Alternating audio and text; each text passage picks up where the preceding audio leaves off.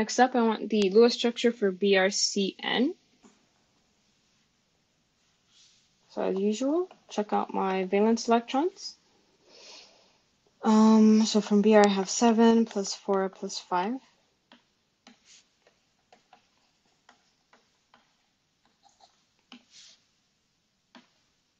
And this will give me a total of 16 electrons to mess around with. I'll have carbon as my central atom, which means I'll attach the bromine to the other side and the nitrogen.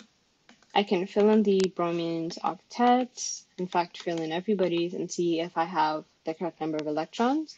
This would imply 6 by 2 plus 4 plus 4, which is 12 plus 8, which is 20 electrons. So obviously I have too many electrons. Bromine I know is in group 7 and group sorry, group 17. And group 17 have 7 valence electrons.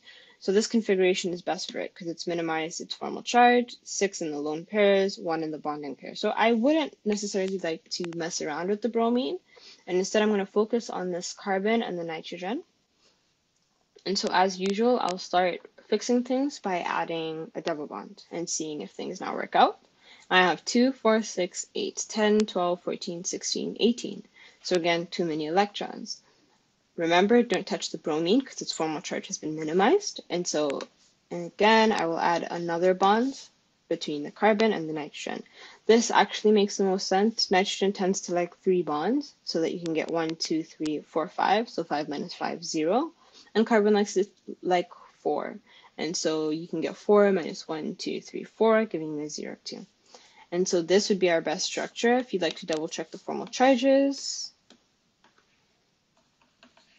you'll see bromine, as expected, will have 7 valence electrons minus the 6 in lone pairs minus the 1 in the bonding pair, giving you a formal charge of 0. Carbon will have 4 minus the 4 electrons in bonding pairs, yielding 0 nitrogen will have 5 minus the 3 in bonding pairs minus the 2 in lone pairs, giving you 0.